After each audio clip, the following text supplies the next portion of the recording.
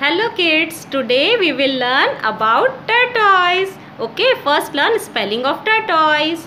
Let's start. First letter is T, after that O and then R, after that T and after that O, again T and Last letter is E. T-O-R-T-O-I-S-E.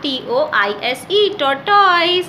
You know a tortoise has a dome shaped shell on its back. उसकी पीठ पे एक dome shape का shell होता है जिसमें वो छुप जाता है जब उसे डर लगता है a tortoise can live on land as well as in water वो पानी में भी रह सकता है और ज़मीन पे भी रह सकता है। Young ones of tortoise is called hatchling tortoise के बेबी को हम हैचलिंग कहते हैं। और tortoise likes to eat green grass leaves different kinds of vegetables okay and tortoise do not have ears उसके पास ईयर्स नहीं होते, पर वो फिर भी वाइब्रेशन महसूस कर सकता है। Now you have learn about tortoise okay kids bye bye फिर मिलेंगे।